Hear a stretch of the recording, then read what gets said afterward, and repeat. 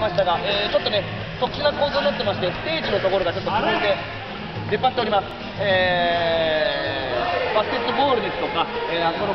出っ張ってるところに当たった場合は、えー試合終わったと、こちらで判断させていただきますので、その都度審判にかかっていただければと思います。ただ、えーキックオフの際なんですけれども、ちょっとこれバスケットコート用なので、若干狭いです。えーですので、僕がこちら側にちょっとラインを引かせていただいたのと、こちら側については、えー白いチャリのところまで、えー下がっていただくようにしていただけます。あと、えーペナルティーエラー、非常に分かりづらいです。えー違うんですそうなんですよ。えー一番外側のこういう外周、ちょっと分かりますかね？スリーポイントじゃない方スリーそうスリーポイントじゃないところで、はい。キーパーじゃないし何度か過去にあの審判が出ちゃってハンド取ったことキーパー普通に出てる時ありますから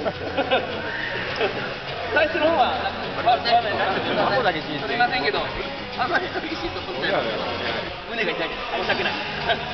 みんなで一緒にえー協力できればと思いますはい、では第一試合です、えー、たくさんの人が見てるのでいい試合見れて子供た。ちに夢をはいありが